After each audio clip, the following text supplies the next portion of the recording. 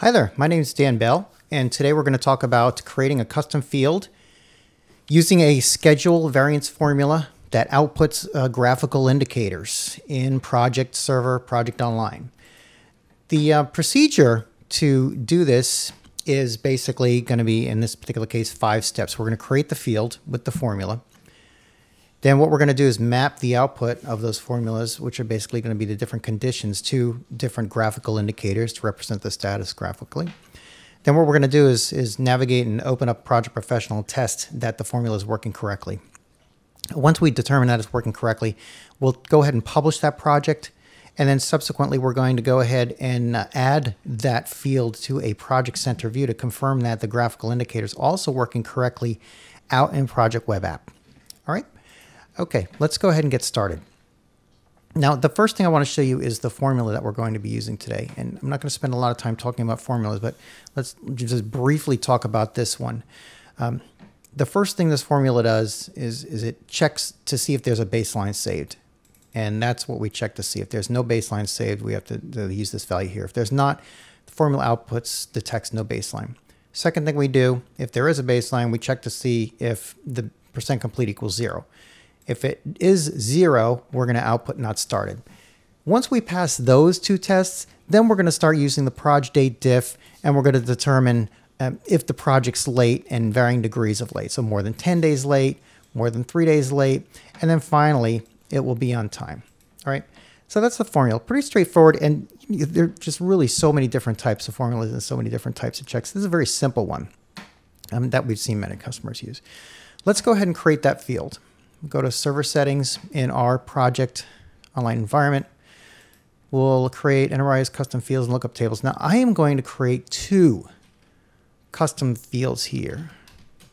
And the reason for this is because I want to be able to test the formula.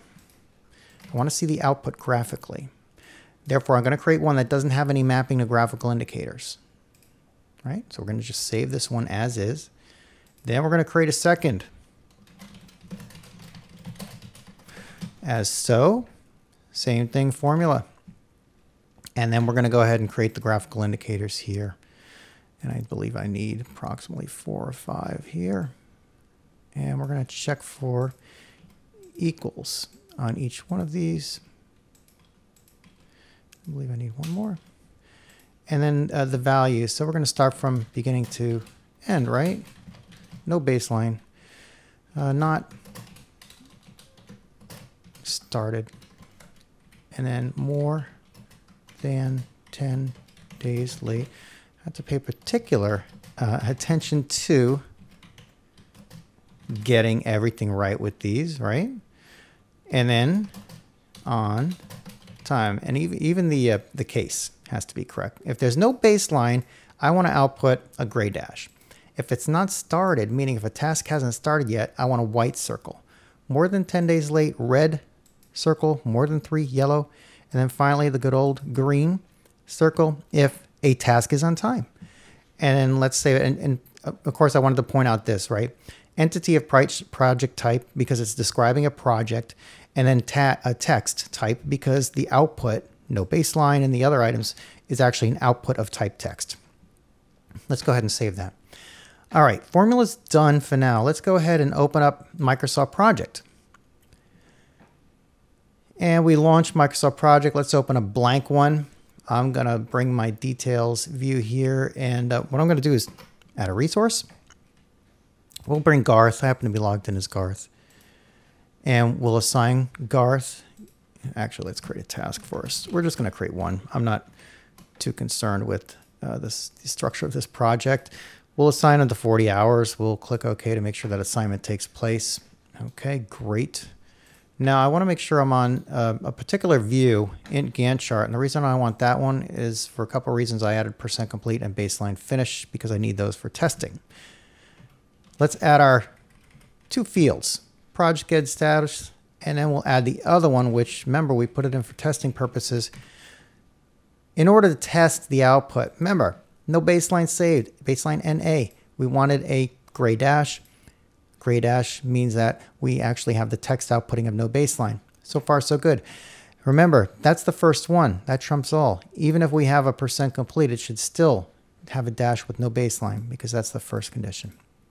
If I save a baseline, set, remember what happens then? It's not started. That's because percent complete equals zero. All right. The next thing is, well, what happens next? Percent complete, progress it. Ah, it's on time. You can see the text output of on time. On time equates to a green graphical indicator. The reason it's on time is because it's less than three days late, right? In this particular case, it's zero days late. Now let's go ahead and, and make it late. Now, proj date diff, the formula, takes into consideration the calendar being used for the project. Now, I could have specified a specific calendar in the formula. I didn't, since I didn't use this the one that's specified in the project.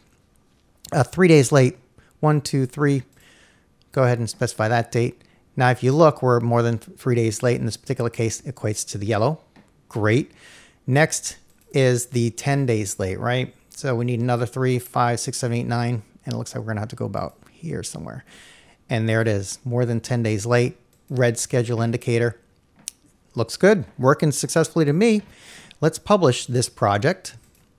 And we're going to call it graphic test hit save. We should get prompted to save a site.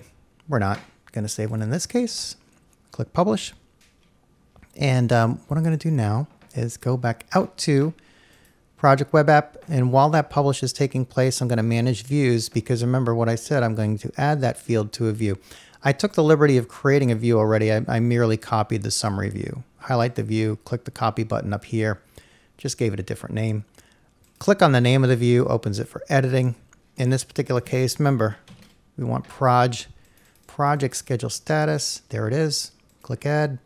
We're going to move it up to um, just to the right of project name. There it is. Let's save it. All right. New view is all set. And let's go ahead and see, is that view set? There it is. Int summary test graphical move that over. There are the project names. There is my field. Remember, I, I, said I put it to the immediate right of the project name. The reason it's not populated for all these projects is because every single one of them has to be opened, calculated, and published in order for the schedule status formula to work and display a graphical indicator. However, it works for our ZZZ graphic test project, and that's really all we were looking for to do in this particular case. There you go. That is how to utilize a schedule formula that outputs to a graphical indicator in Project Web App. And so we followed those steps. We created the custom field with the formula to determine schedule variance based on the baseline to the working finish. We mapped those conditions to the graphical indicator. We tested that output in Project Professional. We subsequently published that test project. And then finally, we created and deployed a Project Center view to confirm that the graphical indicators worked in both Project Professional as well as in Project Center, and it worked just fine. Thanks for watching the video. Now, notice that um, if you have any other questions that you'd like to ask about either this video or maybe request other videos, uh, please go ahead and contact us. We'd love to hear from you. Ask at integent.com. Thank you very much and have a great day.